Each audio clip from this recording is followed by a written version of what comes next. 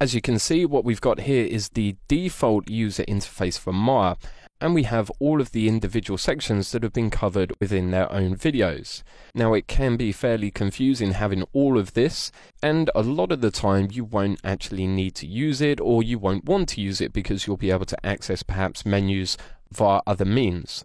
So if I just begin to go through the way in which we're able to actually customize the user interface, you can then have a chance to play around, set up the user interface as you like. Under the display menu, up in the main menus, up at the top, we've got UI elements.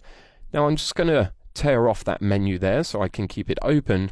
And quite simply, what we can do is begin to just turn off individual areas of the UI that we don't want all the way down until everything's completely gone. And as I've mentioned with some of the hotkeys, what we can do is even get rid of these. So if I hit Control and M, it'll get rid of the main menu and if I hit shift and M it will get rid of the panels menu so what I have is a completely clear viewport and you'll tend to find that a lot of people that have used Maya for a long time will perhaps use this in certain situations because they can get to the tools and commands via the marking menus, a process that's going to be covered later on as you begin to progress and get more confident with inside of Maya.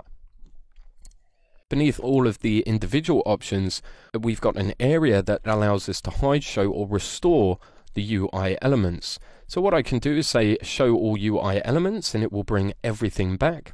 I can hide all UI elements or restore the UI elements. So that's all very well, but it does mean that we do have to go up into a menu. It'd be a lot easier if we could just quickly determine how we want this set up. If I was to hit Control and Spacebar, as you can see, it would get rid of everything. And in fact, let me just bring back the panel menu and main menu, because there's something that you'll probably tend to have in most of the time. So Control and Space is the shortcut that allows me to hide or show all of my user interface elements.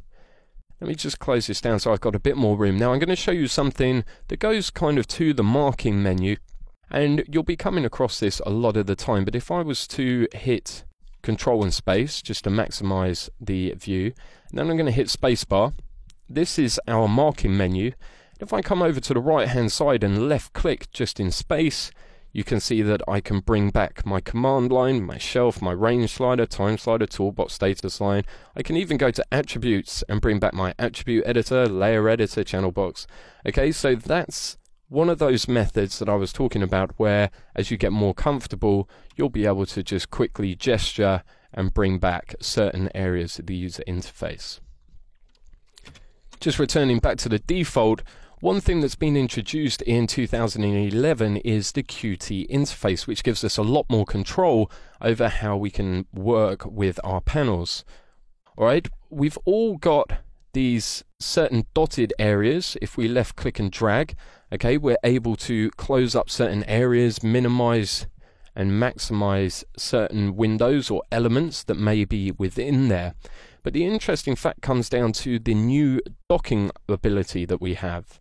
If I was to bring up my attribute editor and I wanted to be able to see both my attribute editor and my channel box, what I can do is just come over to the dotted line area, left click and drag and what that will do will tear it off and I can either have it floating freely okay wherever I want or if I left click drag and bring it over to the other side if I continue to drag you'll see a slight adjustment there and what that's saying to me is okay you're able to drop that into that area right so I've now ripped it off and docked it on the other side meaning I can access both the attribute editor and the channel box layer editor of course, I can do that in other areas as well. I can take off the shelf menu.